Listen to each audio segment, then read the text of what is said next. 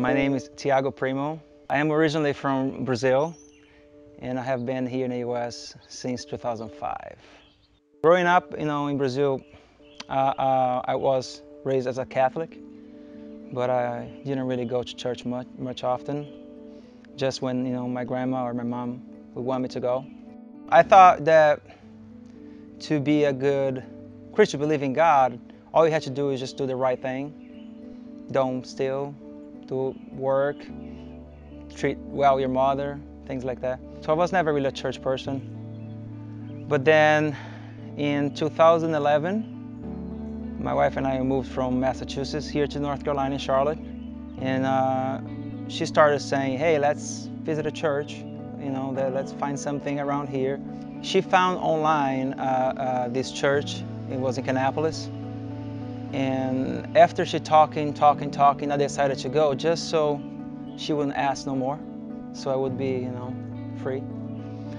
And as I walked in, it was totally different experience. It's, uh, you know, you hear actually good music. And uh, uh, it's the first time that I didn't fall asleep in the church. It was actually awesome. And that's when I started, you know, uh, coming to the church that today is Hope City. My faith has changed in a huge way since I started attending Hope City. It's just the way the message is is is uh, um, is given. The way we it's just an easy way that that really anybody can understand. It's not judgmental. There's not a lot of difficult words. You know, the pastors, you know, Robbie would be there just making jokes and in the middle of the service, and that's things that that that helps me pay attention and actually, you know, uh, uh, understand the message. And it is very simple because every week you bring something out that you can actually use in the real world. And it definitely helped uh, uh, uh, me to grow, you know, my, my relationship with God. He helped me to meet a lot of people that helped me through the process.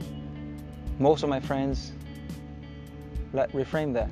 All of my friends are from Hope City or I've met at Hope City. It's more than a church, a family, you know, it's a place that, that I love to go and I love to stay and I love to volunteer, do what I do. I take care of the lights over there at the church and it, I just love it because I know that, you know, uh, uh, um, light adds a feeling to the, the worship experience.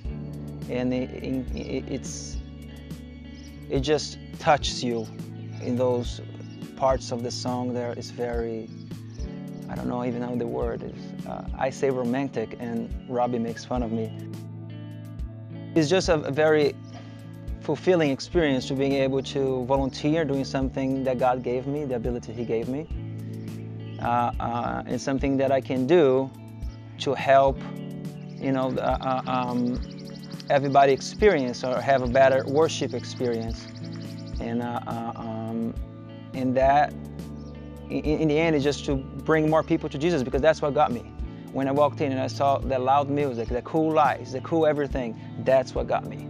It's not the sermon that got me.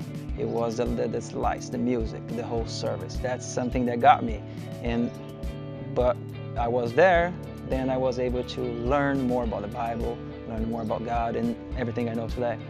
But everything started with a note and a light, and I loved it.